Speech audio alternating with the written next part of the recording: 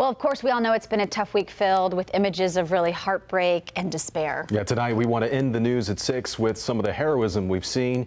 We'll see you back here at 11.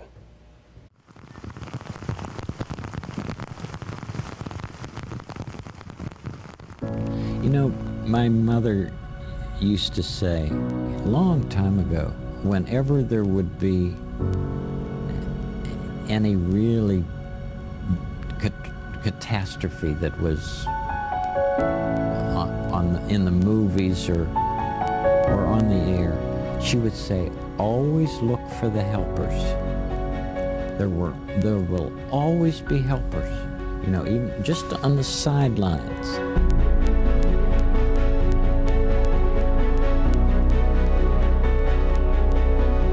That's why I think that if news programs could make a conscious effort of showing rescue teams, of, of showing who, uh, medical people, anybody who is coming into a place where there's a tragedy, to be, to be sure that they include that. Because if you look for the helpers, you'll know that there's hope thank you